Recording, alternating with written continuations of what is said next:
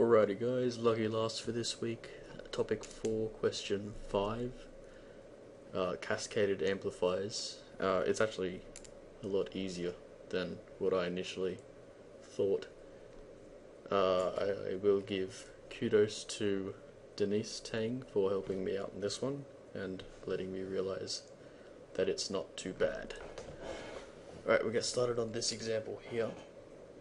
The first thing you want to do um, when looking at your diagram is finding out which terminals the input is going into for each amplifier because that's how the uh, Mathematica file uh, identifies them.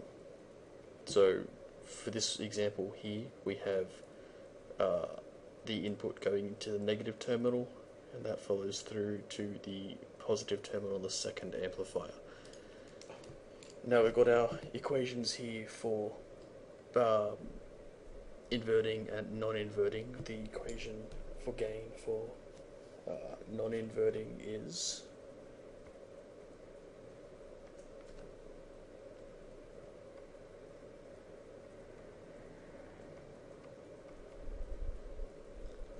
and for our inverting it is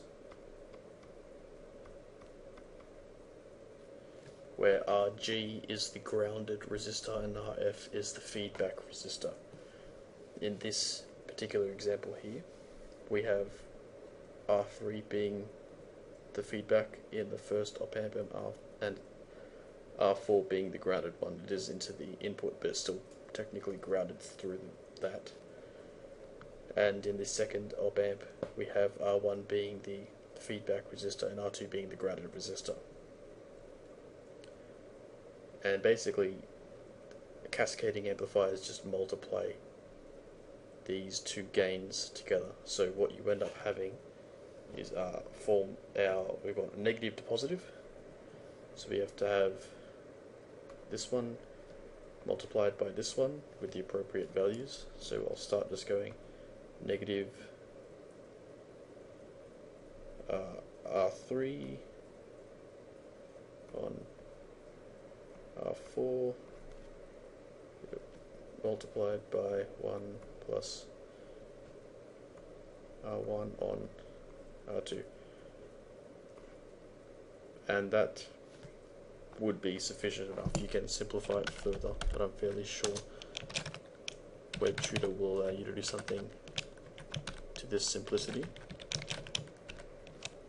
And now once we once we have our equation here, we'll identify we've identified which one goes negative to positive. We check our Mathematica file. That's number three. We choose number three so that the switch can choose the correct uh, equation for it. And then shift. Oh god damn it! Here this happens. Use all this. Yep, and 50, uh, negative 53.5294 should be our volts per volt. We try. Alright, important note. Make sure that your resistor values are the uh, correct ones. Otherwise, yeah, you'll just balls it up like I just did. So basically our RF is 24,000, RG is 8200, RF2 is 82,000 and RG2 is 5600. Put it in like that, we can put it in. You can already see that's the same, but why not? Put it in 100%. No worries.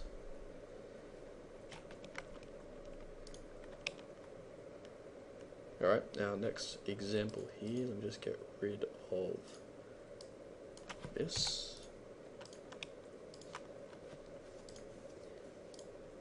We can see here that the the first op amp, the input goes into the positive terminal, and then that follows through into the second op amp in the positive terminal. So we have a positive positive configuration, which would be number two.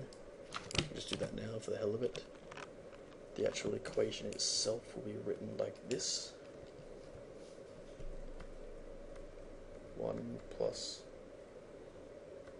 R1 on R2, 1 plus R3 on R4. Yeah, Nice and simple, just like that.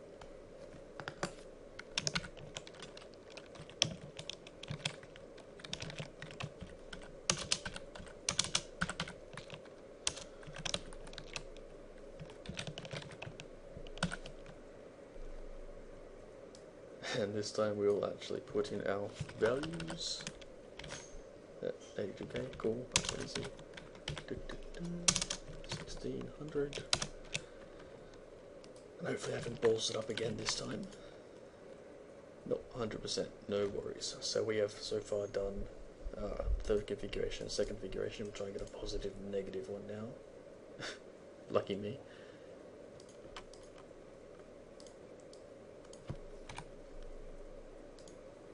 Alright, so this particular one is a, if we look at it, it's a positive going to negative. So that we'll start with our positive one. 1 plus R3 on R4 is R1 on R2 that'll be enough again. Basically, you'll only ever have two different types of uh, equations because because they multiply each other. Yeah, you yeah, you can have them back to front or whatever. They'll still be the same. I really don't need four, but just so you know which ones you're actually using and you can identify them. I'll put it that way. Alright, so we have 1 plus R3 on R4, negative R1 on R2, and that's our positive to negative, so use 2, uh, 1, sorry, 16,000 for our RF1, 1, 1 for our RG, RF2 is 91, and RG2 is 2K. That is a huge negative number, but it's right anyway. Um, I don't think I should have to do the last one, but I'll generate it just in case any of you are having problems with it. Nope. Uh, here we go, nice and easy.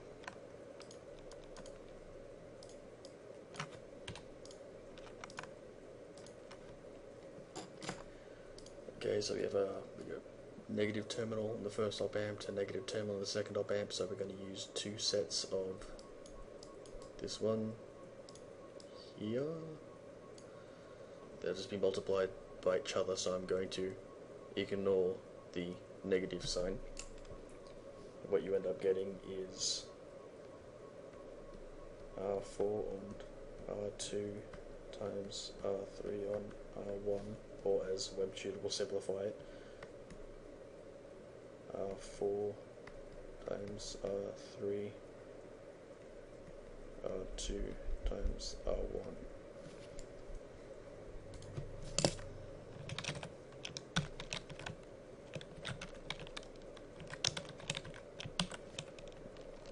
and that's our fourth configuration.